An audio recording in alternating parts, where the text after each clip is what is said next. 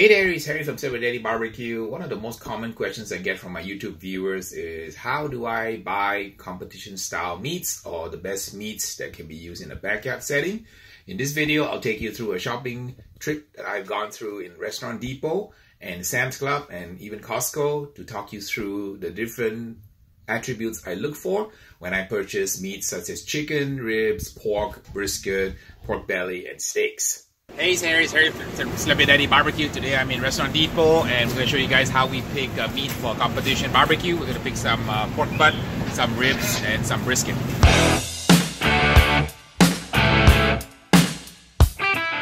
So these are the uh, Mary's uh, air chilled organic thighs and uh, they're a little bit expensive but uh, great for competition uh, also and there's quite a few of them you can pick and you can use the air, air chilled chicken for barbecue competition chicken also. And here's the whole chicken right here. When it comes to chicken another option for chicken is to use uh, air chilled chicken. In uh, California we usually have uh, Mary's organic chicken. And uh, this is also using competition barbecue because uh, it uh, is not cooked soaked in water so it has a better texture. So this is another option for chicken and uh, it's, also, like called Smart Chicken as a brand in the Midwest. But in California, uh, Mary uh, Chicken is the one that we use. So how do you pick a competition chicken thigh? Uh, we have a lot of chicken here in Sam's Club. Uh, we're going through some uh, Tyson ones. So the first thing I do is I look for the package size and uh, try to pick the ones that are heavier and bigger. And after I pick the size, next thing I want to do is look for the type of skin, right? So like for example, this one, this one's no good because the skin is kind of blemished, a little brown and bloody. So I, I would pick this one. Uh, not this one because uh, it's got blood, kind of bloody and uneven skin. Looking for blotchiness on the skin. What I'm trying to do is look for chicken that it looks has clear skin. So among all the packs here, this one looks pretty good. So this one is heavy, one of the heavier packs here. And also a nice clear skin here no feathers and uh, no cuts, nicks. This one is a good one.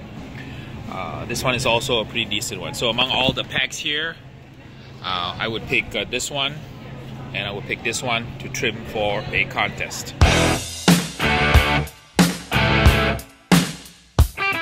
About three pounds here, you can tell. So from the weight, that's the first indicator. It's 10 pounds divided by three is about three pounds. So this is a 3.0 down rib and uh, you want to look for basically some nice marbling, nice thick meat here. So I go by weight first, and then after the weight, I, I go with the marbling. So we go through a few of these looking for something that will work.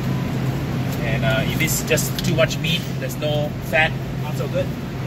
All right, so I like this one here because it's got a little bit of fat here. So I kind of like this part here, all the striations and fat. So this is a good rib. Pick this one. Also, this one's pretty good. So kind of around here, uh, you see striations, marbling, and fattiness, and then the fat is soft, so that's all good. The ribs. So what we want to try to do is uh, pick uh, nice uh, ribs with nice marbling. This one looks pretty good, like like, like so. So this one's a good one. So I'm looking for marbling along this edge here. So it says 15 pounds, so these are five pound each. So that's about the right size. So big big ribs are really good for competition. Uh, this is the right kind of marbling you want to see here, right here. And then uh, this one is not too bad also here. So look for striations and then look for the marbling and make sure that the fat is soft. That, will make a good rib. Okay, we are in the meat uh, counter here in Restaurant Depot and uh, we have baby backs and we have St. Louis. We're gonna pick our way through St. Louis. Uh, we need, uh, this one is not good, too much white fat here. This one's this one's superb right here. So look at the marbling right here, all the way here. Nice soft fat. This is a this is a keeper. All right, so here we go. We have four good St. Louis ribs here. That's how you pick them. Looking for marbling, striations, and then the fat is soft. So this is a good one. So St. Louis ribs are a lot easier because you don't have to trim them. So rather than buy a spare rib, you can buy a St. Louis cut rib from the store and uh, versus a spare rib here. So that also works if you want to save time.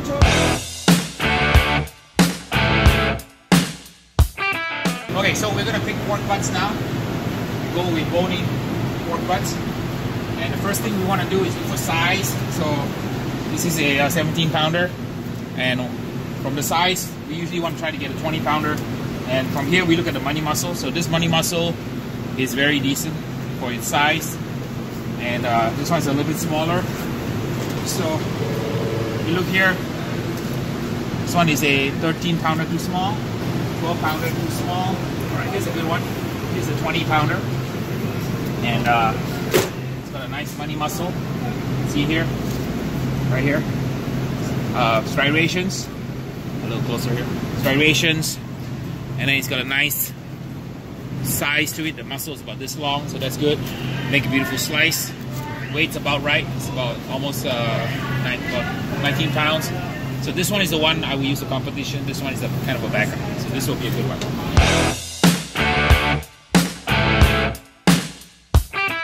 All right, so now we're gonna pick uh, briskets. I'll show you guys what we do. So this is the Angus brisket, uh, pretty good. It's about uh, I don't know, three three sixty eight a pound. So the first thing you want to do with brisket is the size matters. So you want a heavy one.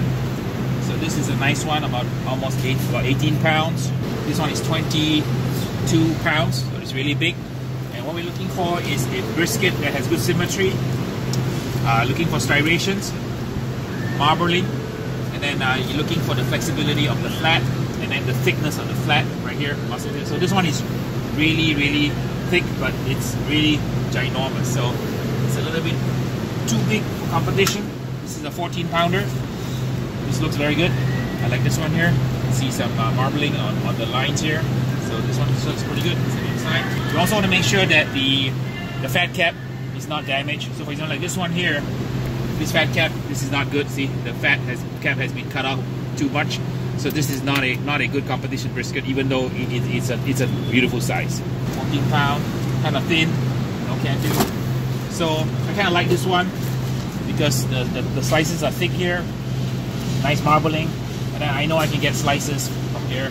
So this 14 pounder, even though it's a little small size, it's got nice thickness to it, flexibility. The fat cap is intact, so th this one would, would be would be a good candidate for competition brisket, and also this one. So I, I would pick these two for, for competition.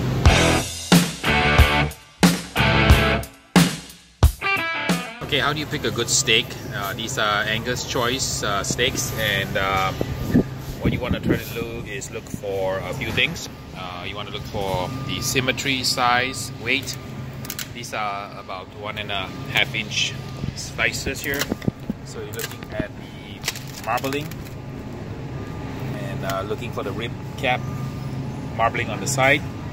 So among all these steak packages here, See, this one looks good, but not enough marbling here.